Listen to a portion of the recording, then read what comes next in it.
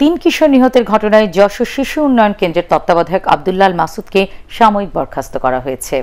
আর জিজ্ঞাসাবাদের জন্য নজনকে আটক করেছে কোতোয়ালি থানা পুলিশ।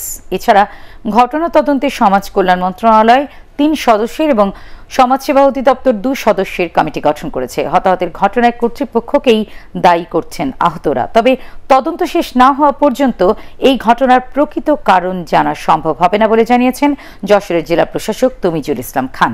তদন্তের পর সুষ্ঠু বিচার নিশ্চিত করতে প্রয়োজনে সুপ্রিম কোর্টে যাওয়া হবে বলে আশ্বাস দিয়েছেন খুলনার অতিরিক্ত DIG K M Nahidul Islam. আধিপত্য বিস্তারকে কেন্দ্র করে বৃহস্পতিবার যশোর শিশু উন্নয়ন কেন্দ্রের দুপক্ষের সংঘর্ষে তিন কিশোর নিহত হয়, আহত হয় চোদ্দ কিশোর। আহত হাসপাতালে চিকিৎসাধীন রয়েছে চোদ্দ জন শিশুবন্দী।